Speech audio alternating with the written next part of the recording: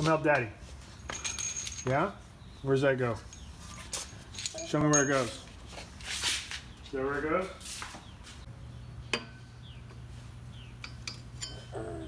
Yeah?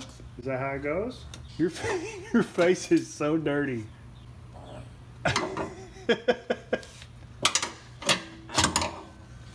Good job.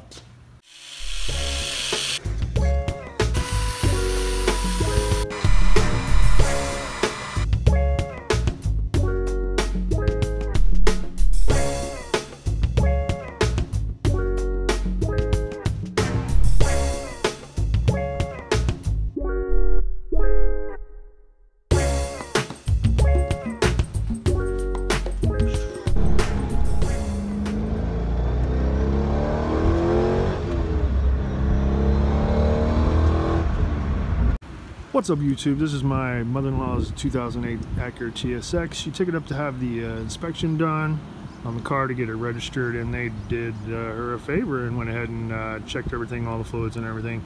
But they also sent pictures of the rear brakes that were almost out.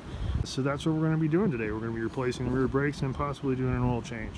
So let's get to it.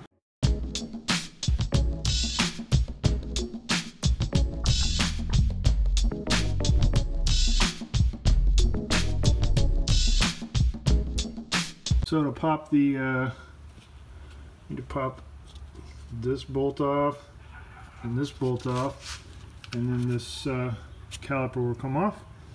And I've got some hangers and I'll hang it up here somewhere because you don't want to like you don't want them to dangle uh, on the hose. And then there are two more bolts to get the bracket off which are here and right there. So uh, we'll demonstrate that and also to get the rotor off we got to remove these two here uh, and I've got a special tool for that and I'll show it uh, here in a little while. These are size 12 and the bracket bolts back there are size 14. 12 and a 14 and I'm actually using a 3 8 uh, 3 8 and I got a couple of extensions just in case. And also you want to get a vice grip or something? Because these pins tend to turn sometimes so I like to use these needle nose uh, vice grips because they there's rubber right here and you don't want to get onto the rubber. And you really don't need to hold these too tight. They shouldn't be turning at all but that's just for backup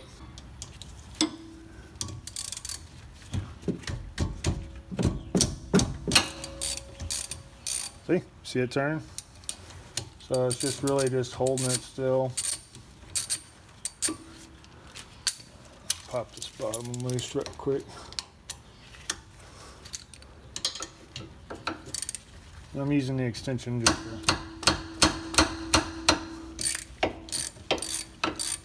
to, to make it a little easier to get it off.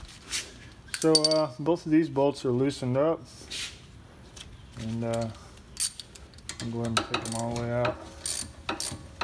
On the uh, the cord caliper, you can take a, a pry bar in here and push it, and it'll compress the the uh, caliper, which makes it easier to come off. Uh, but I'm not sure if these are the screw type or the push type. Yeah. Yeah. So I was able to pry this just a little bit with the uh, against the pad and uh, now it's wiggling a little bit which is perfect. Uh, all right. So let's get these bolts the rest of the way out. Bam number one's out. And these bolts aren't very long as you can see. Ooh. and it's nice to have one of these magnetic trays to keep your uh, your bolts in there. And you can actually stick that right there Out she comes. So I bought these hangers on Amazon for like six or seven dollars delivered.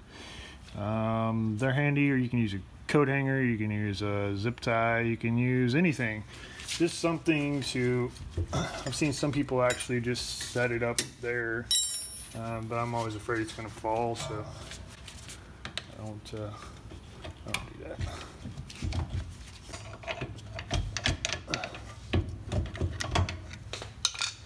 Okay, off it comes. And it looks like it'll just sit right there. Bang it!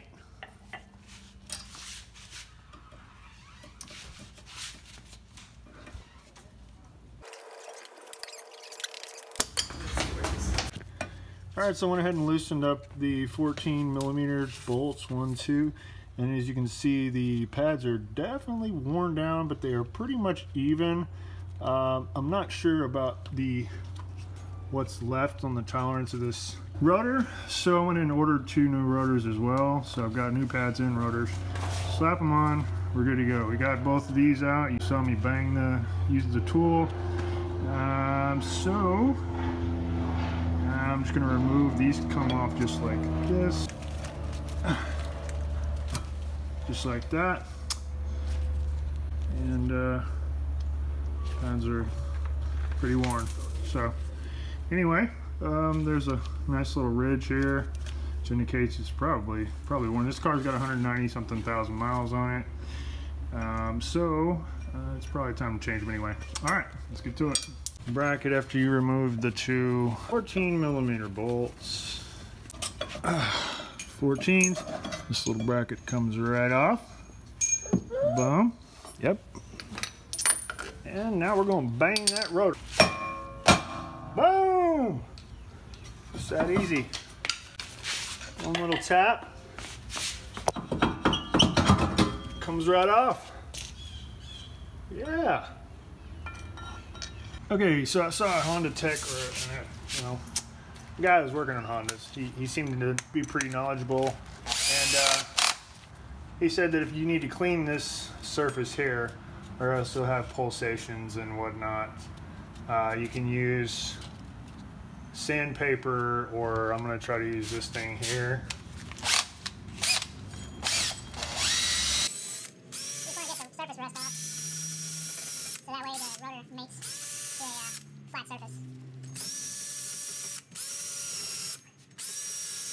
You want to do it in a way it doesn't mar up your uh, um, lugs. But as you can see, this has a hole in it, so I just put it over like that.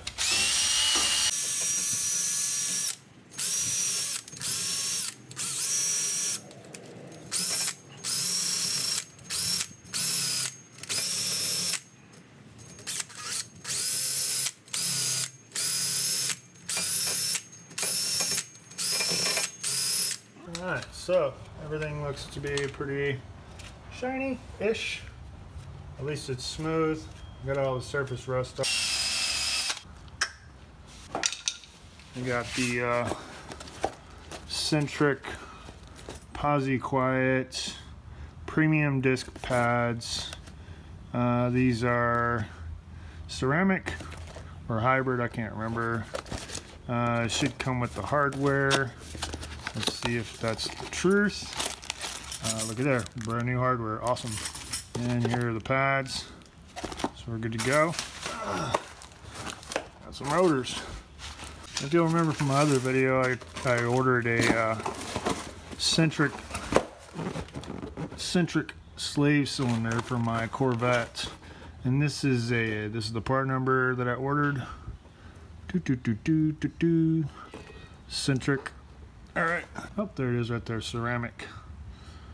Includes hardware kit.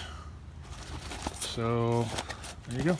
All right, as you can see, we've got everything torn down. I was starting to put the new rotor back on. And then I realized that they only sent me one rotor.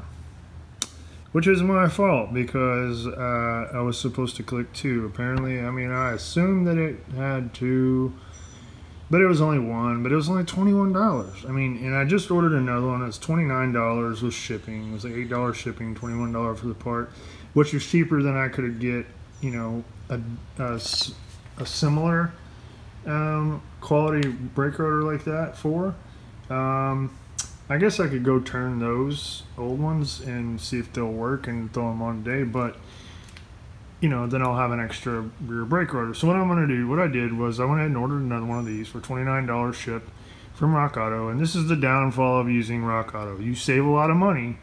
However, sometimes if you forget to order a part or something, um, you run into this situation here. So what I'm going to do is I'm going to button everything back up with the old parts. They're still working. Uh, I'm not. There's no safety issue, and then uh, I'll have to pick back up where I left off. You know, uh, you live and you learn. Uh, you make mistakes, and uh, fail number one on this job. I thought I was going to get through the whole thing without a fail, but that's all right. That's okay. We live and we learn, right? So we'll pick back up whenever we uh, get the new parts, and probably in a couple of days and uh, get it all put together. All right. See you then.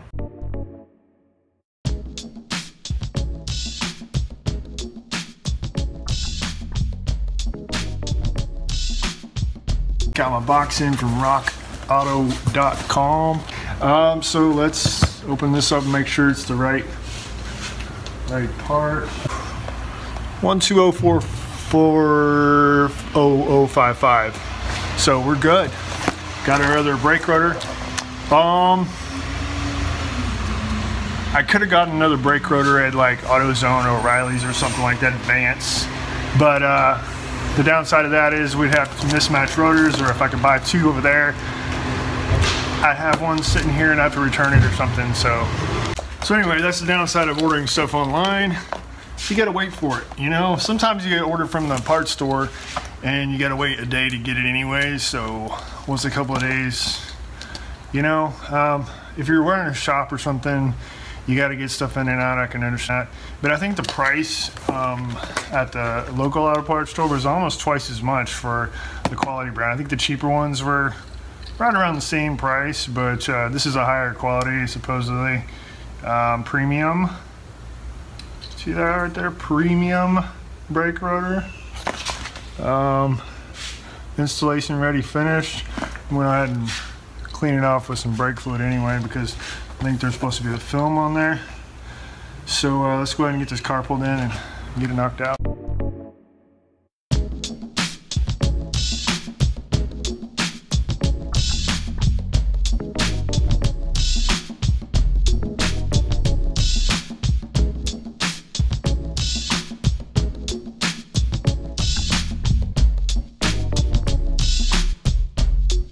there's two where the screws go they're kind of uh, belled in. Some of the, there's two here. So there's two with indentations. So I'm putting those. And everything looks like it's lining up. Screws back in. Phillips head ish I don't know if they're actually Phillips head. Like a special type of Phillips weird. Um,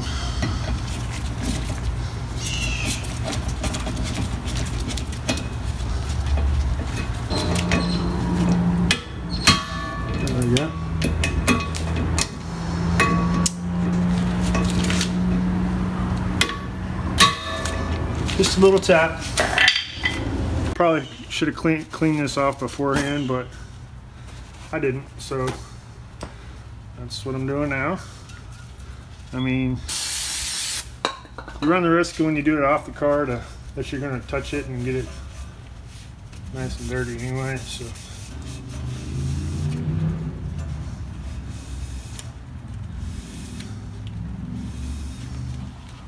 Okay, that was pretty easy. I'm just holding the back of it over here and then just spinning it because why not? Make sure if there's any kind of residue or whatever that it's no longer on there. As far as compressing this uh, caliper you see how it's there it is. This is a screw type. Uh, so what which this takes is what this takes is one of these. And you just stick your 3 eighths in there and you find whatever size fits it. You take it in there and you screw it screw it in and uh, the other kind is a compression type which you use this and you just slide it in there and push Uh, but this is definitely a screw type, which I found on the back of my Honda Accord is the exact same type, which is why I have this. And these are not too expensive, I guess. That you know, I got, I think I got this one in Napa. Um, it's pretty reasonable, decent reviews. So, like I said, this is a 3 8 and you'll want to screw it all the way in until it's uh, until it's flush. You know, you want to be careful to uh, not damage the rubber like that because sometimes it slips off. You just go slow. Once you get it started, it starts moving pretty pretty well. Let me try.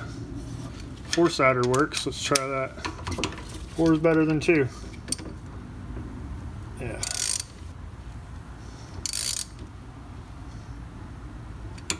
All right, I think it just stopped, which is, oh. all right. So I screwed it all the way in, you know, to make room for the uh, the brake pads in here because the new pads are going to be thicker, obviously. So uh, this needs to be screwed all the way back to make room. And now I'm going to replace the hardware.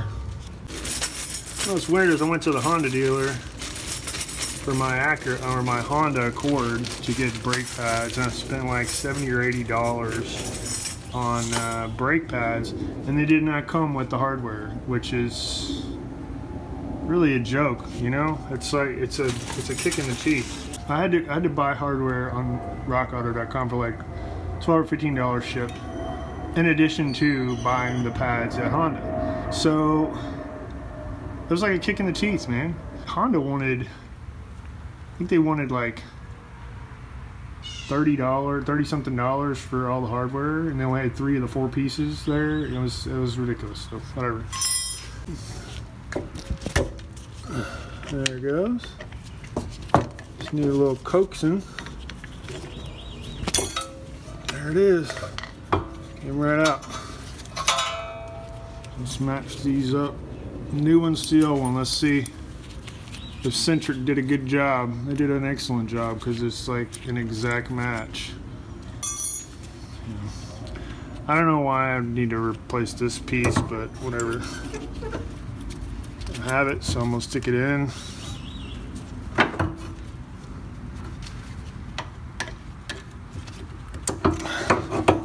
Okay, that was uh, really easy. So when I pulled this bracket off, I left both the brake pads on there so I would know what side, actually goes like this, so I would know which side the squealer goes on. I always look at it beforehand to make sure, and these actually have shims on them, so I'm gonna, I left it like this so I could tell how to set up the new, the new pads. Okay, so these already have the shims on them installed. Um, and it has a squealer right here. So this one goes on here and I'm going to not set that down on the pad obviously. Um, maybe not so obviously. So the pad the squealer goes like that. So I'm to set this here. So I know that goes there. So I know it goes bunk and this one goes bunk like that. And you can see yeah I'd say her uh, pads are pretty well worn out. Although the squealer was not quite not quite squealing yet. Um, you can see, yeah, yep, that is uh, definitely, definitely, definitely worn out. Let's do one side at a time. Well, that snapped right off, didn't it? Perfect. These kind of clip right up in there. Spray some brake cleaner there. And uh, this should just snap right back in there. And it does. Alright, let's get the other side.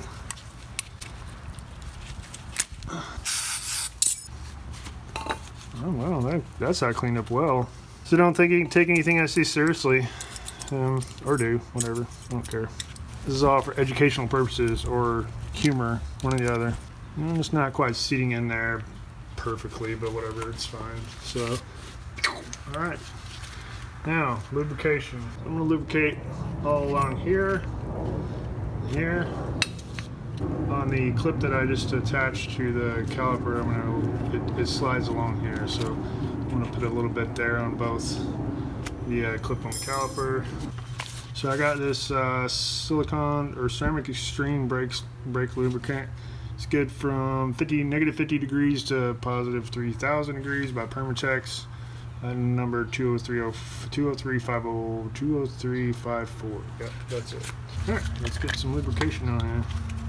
I kind of like this versus the uh, the dip and brush thing because this way I can just kind of squeeze a little bit there, squeeze a little bit there, squeeze a little bit on there, squeeze a little bit there, squeeze a little bit there.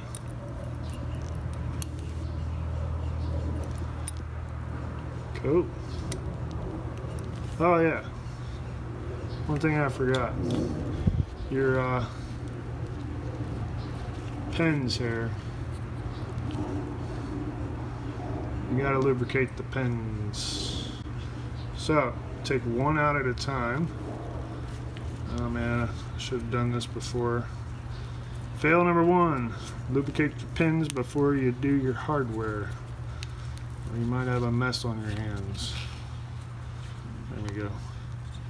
Okay, see how gross that is? That's pretty gross.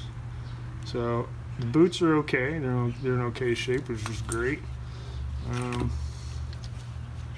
so all you got to do is take the uh, blue towel, spray some brake cleaner on there, clean it off like that. Now you don't want to take both of these out at the same time because one of them has, they're different. One of them has like a little uh, uh, rubber piece or something on it and it, you'll be able to see that on the other one when I take it out. Uh, dry this off right quick. I think I bought some specific, some pin specific lubrication. If not, I'll just use this stuff because apply caliper lube to pins, slides, bushings, pistons. Okay, yeah, that, that this stuff works. If it works on pins, why not just use it on pins, I guess. So, put a little bit. Make sure it's nice and, you don't want to put too much in there because you'll have like a lock, you know. It'll be locked in there hydraulic lock. That's the that's the name I was trying to figure out. Yep, I just touched it. You gross. All right, so these things just snap right, snap right together. Boom. Now the other one. This one should be different. I'm kind of holding the boot. You don't want to use anything metal if you can help it to pry this boot back. Um, you don't want to just like pull, pull, pull it off either because then you'll rip the boot. See if I can use just to kind of break the seal a little bit.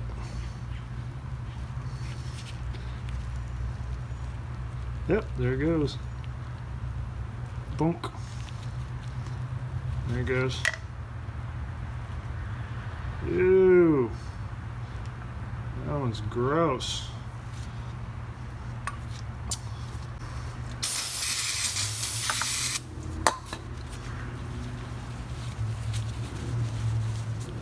Now, if you don't, well, I guess this one doesn't isn't any different, but on some of the pens they're different, so just do one at a time.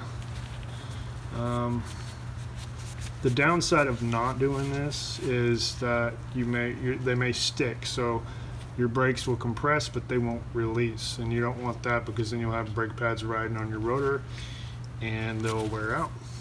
Then you'll be doing them again real soon because they wear out fast. I like this stuff. Use it on everything.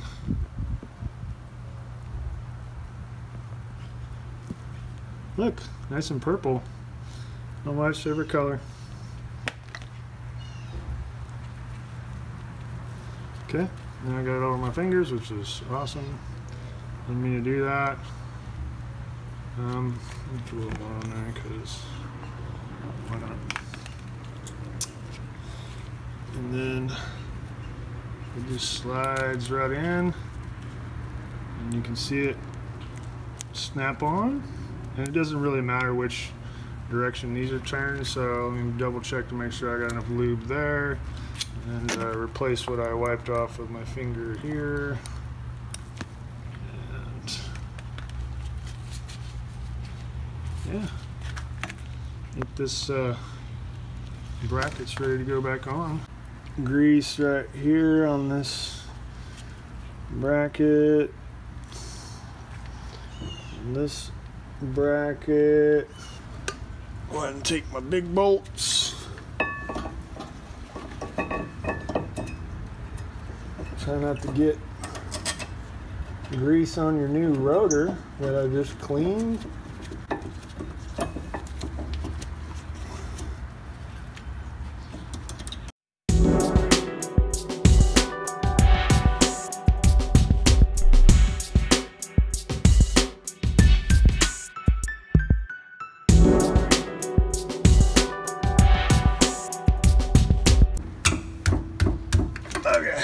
Good enough.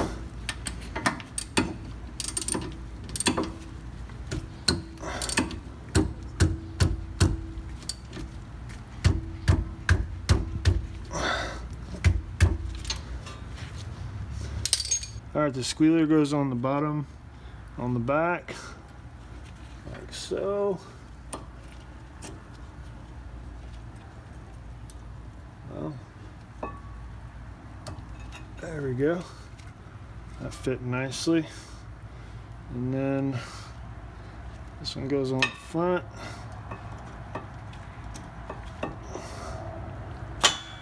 That fits nicely. And put a little extra grease here. Man, I really like this tube. And that slides right on. Put the bottom bolt in first. I don't know if you noticed I had to push the pin in a little bit.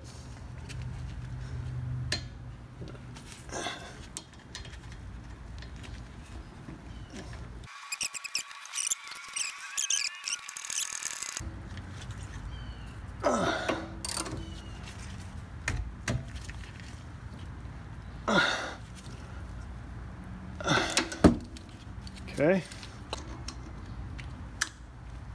Tighten that bad boy up.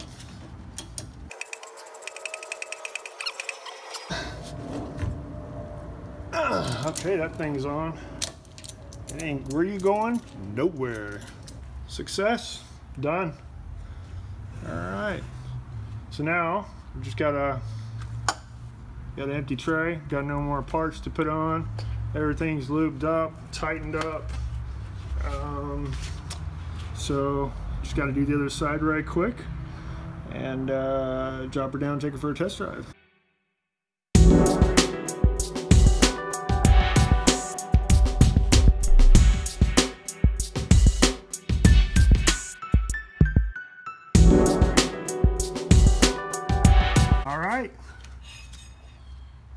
Side two, uh, passenger side is finished.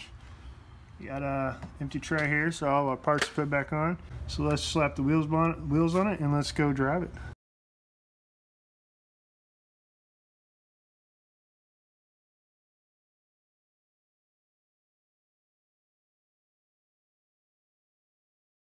This is a torque wrench uh, from Tekton. I think it's like 50 to, or 10 to 150. Yeah, 10 foot pounds to 150 foot pounds.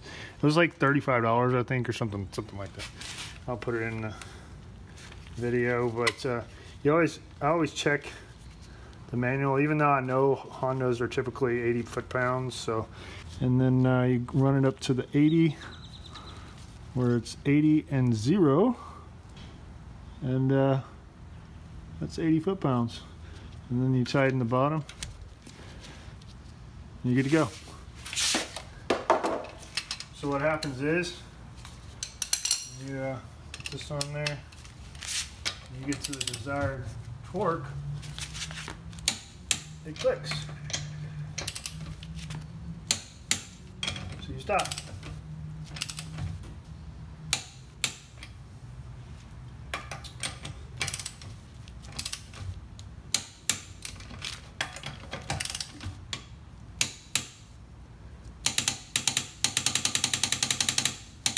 supposed to exercise the mechanism. So.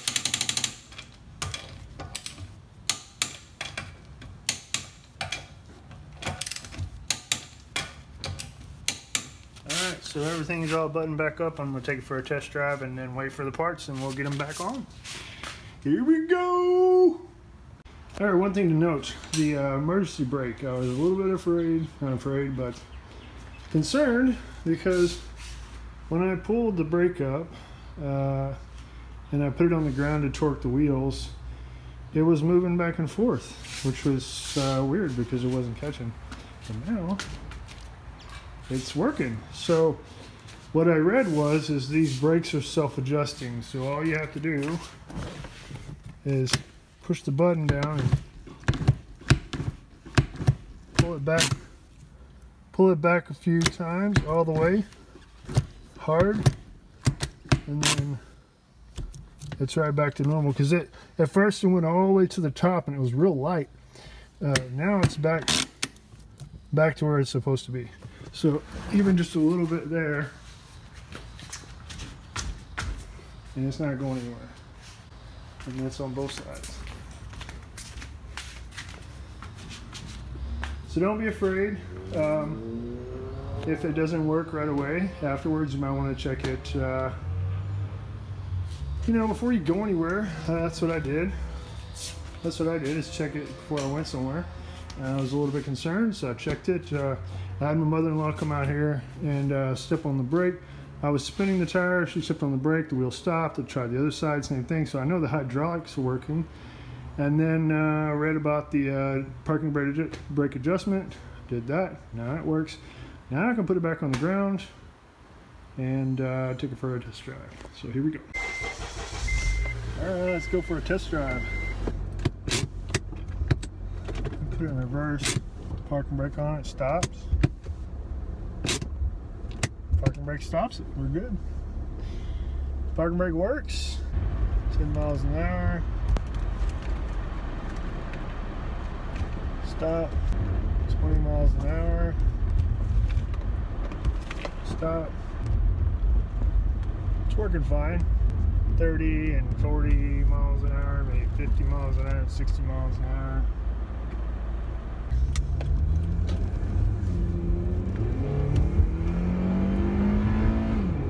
Maybe I should let it warm up a little bit, eh?